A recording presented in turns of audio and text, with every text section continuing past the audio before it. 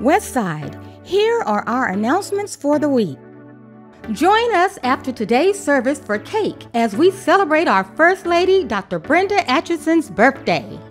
Vacation Bible School begins tomorrow, July 15th, and will continue through Friday, July 19th. If you have not already, we urge you to register to volunteer or enroll. You can do so by scanning the QR code on the screen at any kiosk in the building or visiting the church's website.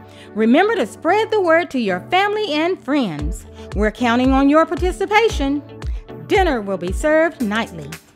There will be a business meeting for Westside members only on Wednesday, July 31st at 7 p.m. in the main sanctuary.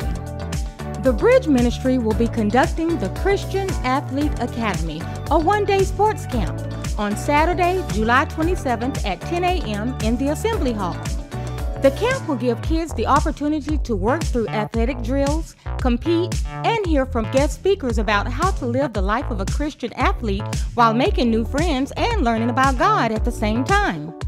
Register at WBCChurch.org.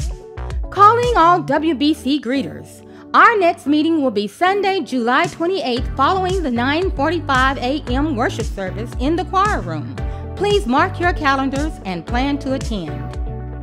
Save the date and mark your calendars.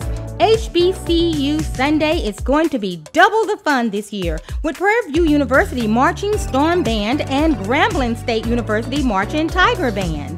That's right, so mark your calendars for Sunday, September 29th at the Max Goldsmith Stadium on the campus of Lewisville High School. For additional information regarding any of these announcements and much more, please visit us at WBCChurch.org. Weekly announcements are also available on the Westside YouTube channel. Thank you and have a blessed week.